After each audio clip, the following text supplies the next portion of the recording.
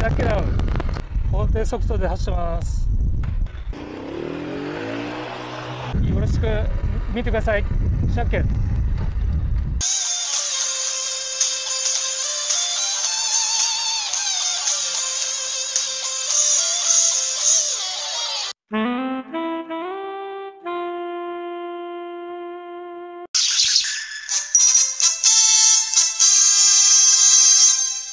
食品圧縮袋と手動ポンプセット日本あ中国製。はいこんにちは。今日ご紹介するのは食品圧縮袋と食品圧縮袋用手動ポンプです。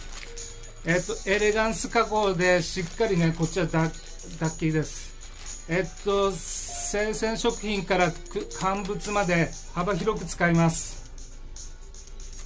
ということで、え手動ポンプの特徴は書いてないけど、次詳細見てみましょう。よいよい、鮭の。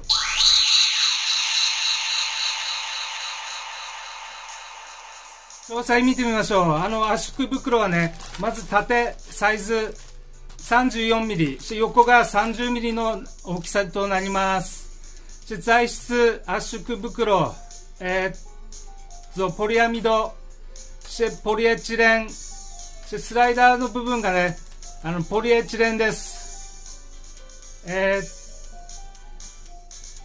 と、そうですね。えっ、ー、と、手動ポンプが材質ポリプロピレン。えっ、ー、と、シリコンゴム。サイズ約 140mm。横 45mm ね、ここね。で、本体の横が、えっ、と、35mm です。それじゃあ、実際見てみましょう。中国製です。あの、税抜き100円。実際見てみましょう。せーの。よいよい。シャキナウ。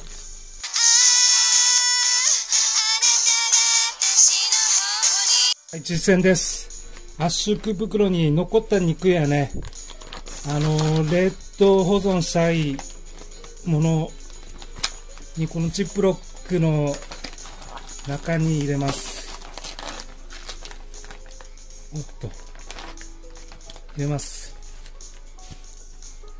そして、えー、っと、これ、スライドをつけてください。スライドはめて。はい。スライドはめたら口が閉じました。口が閉じましたね。そしてここで手動ポンプを使います。この丸いとこに丸いとこに合わせて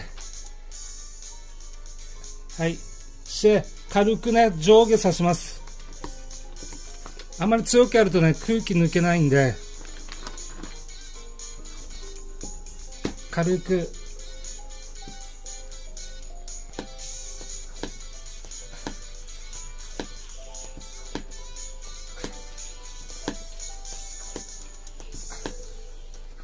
まだ空気抜いてます。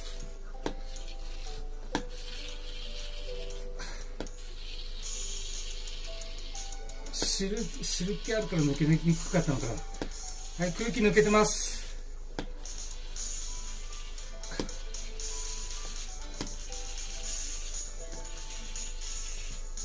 して最後青いとこここを押してはい真空パックされました。でこれでね冷凍庫に保存しましょう。じゃあこれも良いんで良い良いシャキラウ。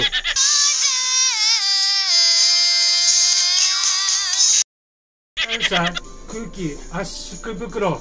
えー、っと肉や魚ね生鮮食品とか乾物とかね幅広くいろいろ使います。じゃあこれも良いんで良い良いですね。じゃグッド評価バッド評価グッドマングッドバッドコメントお待ちしております。じゃあ課金課金ダブルカッコ笑いこじゃなき100万バイバイキングクイーンクイーン確認チキ熱いぜクイーンしたっけ次回もよろしく。